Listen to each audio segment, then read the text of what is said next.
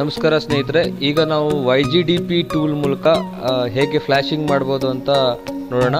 ಈ Y G D P tool ಹೇಳೋದು ಯಾವ ಒಂದು ಚಿಪ್ಸೆಟ್ ಹ್ಯಾಂಡ್ಸೆಟ್ಗೆ ಯೂಸ್ ಆಗುತ್ತೆ ಅಂತಂದರೆ ಸೊ ಕೆಲವೊಂದು ಎಂ ಟಿ ಕೆ ಮಾಡೆಲ್ಸ್ಗಳು ಬರ್ತವೆ ರ್ಯಾರ್ ಮಾಡೆಲ್ಸ್ಗಳು ಇವು.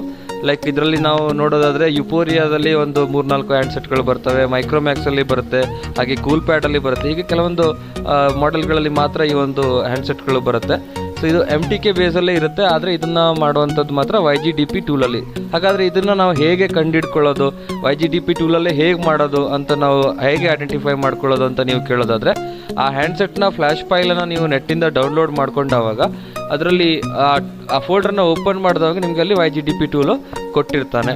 ಸೊ ಈಗ ಫಾರ್ ಎಕ್ಸಾಂಪಲ್ ನಾನೀಗ ಒಂದು ಯುಪೋರಿಯಾದ ಒಂದು ಹ್ಯಾಂಡ್ಸೆಟನ್ನು ನಾನು ಇಲ್ಲಿ ಡೆಸ್ಕ್ಟಾಪ್ ಮೇಲೆ ಎಕ್ಸ್ಟ್ರಾಕ್ಟ್ ಮಾಡಿ ಇಟ್ಕೊಂಡಿದ್ದೀನಿ ಯುಪೋರಿಯಾ ಯುರೇಕಾ ಬಂದು Y O double five zero one A so ಇದು ಹ್ಯಾಂಡ್ಸೆಟ್ ಮಾಡೆಲ್ ನಂಬರು ಈ ಫೋಲ್ಡ್ರನ್ನ ನೀವು ಓಪನ್ ಮಾಡಿದವಾಗ ಸೊ ಇಲ್ಲಿ ನಿಮಗೆ Y G D P tool ಕಾಣುತ್ತೆ. So Y G D P ಟೂಲನ್ನ ಇದು three point nine eight version ಇದೆ. ಇದನ್ನು ನಾವು ಇನ್ಸ್ಟಾಲ್ ಮಾಡ್ಕೋಬೇಕು. ಸೊ ಇದನ್ನು ನಾನು ಆಲ್ರೆಡಿ ಇಲ್ಲಿ ಇನ್ಸ್ಟಾಲ್ ಮಾಡ್ಕೊಂಡಿದ್ದೀನಿ ಅಂತ ಅನ್ಸ್ಕೊಂಡ್ಬಿಟ್ರಿ. ಸೊ ಇಲ್ಲಿ ನಾನು ಆಲ್ರೆಡಿ ಅದನ್ನು ಇನ್ಸ್ಟಾಲ್ ಮಾಡ್ಕೊಂಡಿದ್ದೀನಿ ಸೊ ಇನ್ಸ್ಟಾಲ್ ಮಾಡ್ಕೊಂಡಿರುವಂಥ ಈ ಒಂದು ಫೈಲನ್ನು ನಾನು ಓಪನ್ ಮಾಡ್ತಾ ಇದ್ದೀನಿ. ಓಪನ್ ಮಾಡಿದವಾಗ ಸೊ ಇಲ್ಲಿ ನಮಗೆ ಲಾಗಿನ್ ಕೇಳುತ್ತೆ. ಸೊ ಲಾಗಿನ್ ಆ್ಯಕ್ಚುಲಿ ಇದು ಬಂದು ಫೈವ್ ಪಾಯಿಂಟ್ ಜೀರೋ ವರ್ಷನ್ ಇದೆ. ಸೊ ಇದಕ್ಕೆ ನಮಗೆ ಯಾವುದೇ ಪಾಸ್ವರ್ಡನ್ನು ಕೇಳಲ್ಲ. ಸೊ ಇಲ್ಲಿ ನಾವು ಜಸ್ಟ್ ಲಾಗಿನ್ ಕೊಟ್ಟಾಗ ಓಪನ್ ಆಗುತ್ತೆ. ಅದೇ ನೀವು ಓಲ್ಡ್ ವರ್ಷನನ್ನು ಯೂಸ್ ಮಾಡಿದ್ರೆ, ಅಂದರೆ ತ್ರೀ ಪಾಯಿಂಟ್ ನೈನು ಅಥವಾ ಫೋರ್ ವರ್ಷನನ್ನು ಯೂಸ್ ಮಾಡಿದವಾಗ ಸೊ ಇಲ್ಲಿ ನೀವು ಓಪನ್ ಮಾಡಿದ ತಕ್ಷಣ ಲಾಗಿನ್ ಪಾಸ್ವರ್ಡನ್ನು ಕೇಳುತ್ತೆ. ಸೊ ಲಾಗಿನ್ ಪಾಸ್ವರ್ಡ್ ಬಂದು ತ್ರೀ ಸಿಕ್ಸ್ ನೈನ್ ಇರುತ್ತೆ ಅಥವಾ ನೈನ್ ಫೈ ಟೂ ಸೆವೆನ್ ಅಂತ ಬರ್ತದೆ. ಓಕೆ ತ್ರೀ ಸಿಕ್ಸ್ ನೈನ್ ಅಥವಾ ನೈನ್ ಫೈ ಟೂ ಸೆವೆನ್. ಅದನ್ನು ಎಂಟ್ರಿ ಮಾಡಿ ನೀವು ಲಾಗಿನ್ ಕೊಡಬೇಕು. ಈಗ ಏನು ಫೈವ್ ಪಾಯಿಂಟ್ ಜೀರೋ ವರ್ಷನ್ ಬಂದಿದೆ, ಅದರಲ್ಲಿ ಪಾಸ್ವರ್ಡನ್ನು ಅದು ಕೇಳೋದಿಲ್ಲ. ಡೈರೆಕ್ಟಾಗಿ ನೀವೇನು ಮಾಡಬೇಕು? ಲಾಗಿನನ್ನು ಕೊಡ್ಬೋದು. ಸೊ ನೀವು ಯಾವ ವರ್ಷನ್ ಯೂಸ್ ಮಾಡ್ತೀರೋ ಅದ್ರ ಮೇಲೆ ಡಿಪೆಂಡ್ ಇರುತ್ತೆ. ಸೊ ಇಲ್ಲಿ ನೀವು ಓಪನ್ ಮಾಡಿದ ನಂತರ ಸೊ ಇಲ್ಲಿ ಕಾನ್ಫಿಗ್ ಹೇಳುವಂಥ ಒಂದು ಬಟನ್ ಇದೆ. ಈ ಕಾನ್ಫಿಗ್ ಬಟನ್ ಮೇಲೆ ಕ್ಲಿಕ್ ಮಾಡಬೇಕು. ಸೊ ಕ್ಲಿಕ್ ಮಾಡಿದ ನಂತರ, ಇಲ್ಲಿ please select C P B file ಅಂತ ಇದೆ. ಸಿ ಪಿ ಬಿ ಫೈಲನ್ನು ನಾವು ಸಿಲೆಕ್ಟ್ ಮಾಡ್ಕೋಬೇಕು. ಇಲ್ಲಿ ಒಂದು ಪಕ್ಕದಲ್ಲಿ ಬಟನ್ ಇದೆ. ಈ ಬಟನ್ ಮೇಲೆ ನೀವು ಕ್ಲಿಕ್ ಮಾಡಬೇಕು. ಕ್ಲಿಕ್ ಮಾಡಿದವಾಗ ಇಲ್ಲಿ ನಾವು ಎಲ್ಲಿ ಇಟ್ಕೊಂಡಿದ್ದೀವಿ ಫೈಲು ಡೆಸ್ಕ್ಟಾಪ್ ಮೇಲೆ ಇಟ್ಕೊಂಡಿದ್ದೀವಿ. ಸೊ ಡೆಸ್ಕ್ಟಾಪಿಗೆ ಹೋಗ್ತಾ ಇದ್ದೀನಿ. ಡೆಸ್ಕ್ಟಾಪಲ್ಲಿ Yureka plus Y U double five one zero A ಈ ಮಾಡೆಲ್ನ ಓಪನ್ ಮಾಡ್ತಾ ಇದ್ದೀನಿ. ಓಪನ್ ಮಾಡೋದಲ್ಲಿ ಇಲ್ಲಿ ಫರ್ಮ್ವೇರ್ ಅಂತ ಬರುತ್ತೆ. ಇದನ್ನು ಓಪನ್ ಮಾಡಿ. ಸೊ ಇಲ್ಲಿ ನೋಡಿ ಸಿ ಪಿ ಬಿ ಫೈಲ್ ಇದೆ. ಅಥವಾ ಇಲ್ಲಿ ಕೂಡ ನಿಮಗೆ ಕಾಣಿಸುತ್ತೆ ಫೈಲ್ ಟೈಪ್ ಅಥವಾ ಎಕ್ಸ್ಟೆನ್ಷನ್ ಅಂತ ನಾವು ಕರಿತೀವಿ ಇದಕ್ಕೆ. ಈ ಸಿ ಪಿ ಬಿ ಫೈಲನ್ನು ಸಿಲೆಕ್ಟ್ ಮಾಡ್ಕೋಬೇಕು. ಸಿಲೆಕ್ಟ್ ಮಾಡ್ಕೊಂಡ ನಂತರ ಅದನ್ನು ಓಪನ್ ಅಂತ ಕೊಡಿ. ಫೈಲ್ ಇಲ್ಲಿ ಲೋಡ್ ಆಗಿದೆ. ಸೊ ಇಲ್ಲಿ ಫೈಲ್ ಲೋಡ್ ಆಗಿದೆ. ಸೊ ಈಗ ನೆಕ್ಸ್ಟ್ ನಮ್ಮ ಕೆಲಸ ಅಪ್ಲೈ ಅಂತ ಕೊಡೋದು.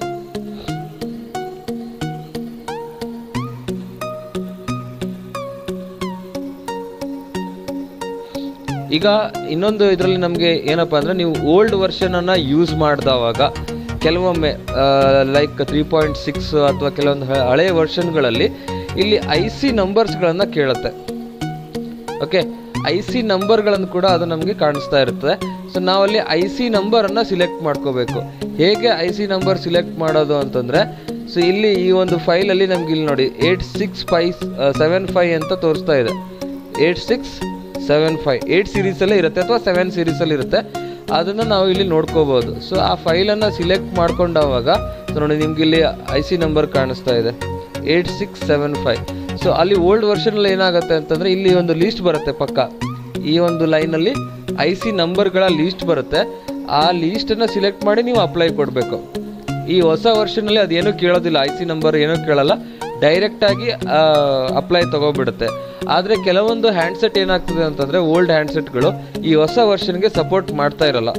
ಸೊ ಆ ಟೈಮಲ್ಲಿ ನೀವು ಓಲ್ಡ್ ವರ್ಷನನ್ನೇ ಮತ್ತೆ ಯೂಸ್ ಮಾಡಬೇಕಾಗತ್ತೆ. ಆವಾಗ ಗಮನದಲ್ಲಿ ಇಟ್ಕೊಳ್ಳಿ ಐ ಸಿ ನಂಬರ್ ಇಲ್ಲಿ ಪಕ್ಕದಲ್ಲಿ ಲೀಸ್ಟ್ ಬರುತ್ತೆ. ಈ ಲೈನಲ್ಲಿ ಲೀಸ್ಟ್ ಬರುತ್ತೆ. ಸೊ ನೀವು ಫ್ಲ್ಯಾಶ್ ಫೈಲನ್ನು ನೋಡಿದವಾಗ ಐ ಸಿ ನಂಬರ್ ಗೊತ್ತಾಗುತ್ತೆ ನಿಮಗೆ. ಸೊ ಇದರಲ್ಲಿ ಪಕ್ಕದಲ್ಲಿ ಲಾಸ್ಟ್ ಎಂಡಲ್ಲಿ ಬರುತ್ತೆ ಐ ಸಿ ನಂಬರ್ ಯಾವುದಿದೆ ಅಂತ. ಅದನ್ನು ನೋಡಿಕೊಂಡು ಆ ಲಿಸ್ಟ್ ಮೇಲೆ ನೀವು ಡಬಲ್ ಕ್ಲಿಕ್ ಮಾಡಿ ಅಪ್ಲೈ ಕೊಡಬೇಕು. ಸೊ ಅಪ್ಲೈ ಕೊಟ್ಟ ನಂತರ ಈ ಥರ ಇದು ಲೋಡ್ ಆಗುತ್ತೆ. ಲೋಡ್ ಆದ ನಂತರ ನೀವೇನು ಮಾಡಬೇಕು? ಸ್ಟಾರ್ಟ್ ಬಟನ್ ಮೇಲೆ ಕ್ಲಿಕ್ ಮಾಡಬೇಕು. ಸ್ಟಾರ್ಟ್ ಬಟನನ್ನು ಕ್ಲಿಕ್ ಮಾಡಿ, ಆ ನಂತರ ಹ್ಯಾಂಡ್ಸೆಟ್ನ ವಾಲ್ಯೂಮ್ ಡೌನ್ ಬಟನನ್ನು ಪ್ರೆಸ್ ಮಾಡಿ, ಆ ನಂತರ ಹ್ಯಾಂಡ್ಸೆಟ್ಗೆ ಯು ಎಸ್ ಬಿ ಕೇಬಲನ್ನು ಫ್ಲ್ಯಾಶ್ ಮಾಡಬೇಕು. ಅಂದರೆ ಕನೆಕ್ಟ್ ಮಾಡಬೇಕು. ಸೊ ಆವಾಗ U S B cable connect ಆದ ತಕ್ಷಣ ಇಲ್ಲಿ ನಿಮಗೆ ಮೂಮೆಂಟ್ ಆಗಲಿಕ್ಕೆ ಸ್ಟಾರ್ಟ್ ಆಗುತ್ತೆ. ಇಲ್ಲಿ ಸೆಲ್ ಒನ್ ಅಥವಾ ಸೆಲ್ ಝೀರೋದಲ್ಲಿ ಪರ್ಸೆಂಟೇಜ್ ಸ್ಟಾರ್ಟ್ ಆಗುತ್ತೆ ಒನ್ ಪರ್ಸೆಂಟ್ ಟೂ ಪರ್ಸೆಂಟ್ ಅಂತ. ಹಾಗೆ ಇಲ್ಲಿ ಅಥವಾ ಇಲ್ಲಿ ಎಲ್ಲಾದರೂ ಒಂದು ಎರೋ ಮಾರ್ಕ್ ಬರುತ್ತೆ. ಡೌನ್ಲೋಡಿಂಗ್ ಆಗ್ತಾ ಇರುವಂಥ ಒಂದು ಎರೋ ಮಾರ್ಕ್ ಸಿಂಬಾಲ್ ಇಲ್ಲಿ ಬರುತ್ತೆ. ಅದು ಆಗಿದೆ ಅಂದರೆ ಕನೆಕ್ಟ್ ಆಗಿದೆ ಅಂತ ಅರ್ಥ. ಒಂದು ವೇಳೆ ಇಲ್ಲಿ ಏನು ಮೂವ್ಮೆಂಟ್ ಆಗ್ತಾ ಇಲ್ಲ, ಒಂದು ನಿಮಿಷ, ಎರಡು ನಿಮಿಷ ಆದರೂ ಕೂಡ ಏನೂ ಆಗ್ತಾ ಇಲ್ಲ ಅಂದರೆ ಹ್ಯಾಂಡ್ಸೆಟ್ ಸರಿಯಾಗಿ ಕನೆಕ್ಟ್ ಆಗ್ತಾ ಇಲ್ಲ ಅಂತ ಅರ್ಥ. ಸೊ ಇದನ್ನು ನೀವು ನೋಡ್ಕೋಬೇಕು.